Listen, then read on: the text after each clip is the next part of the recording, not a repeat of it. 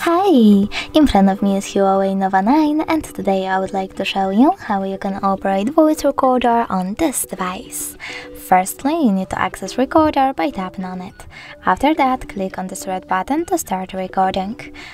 Firstly, you need to select allow in the pop-up, but I already did that, so now I don't have to. If you wish to pause your recording, you can click on the right button, and if you want to unpause it, click on the same one.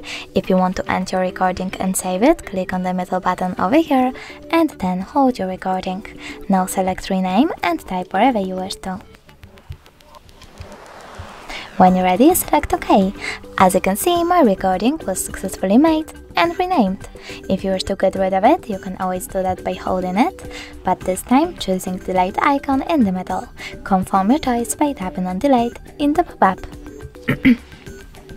Thanks so much for watching. If you enjoyed this video, don't forget to leave a like, comment and subscribe. Bye!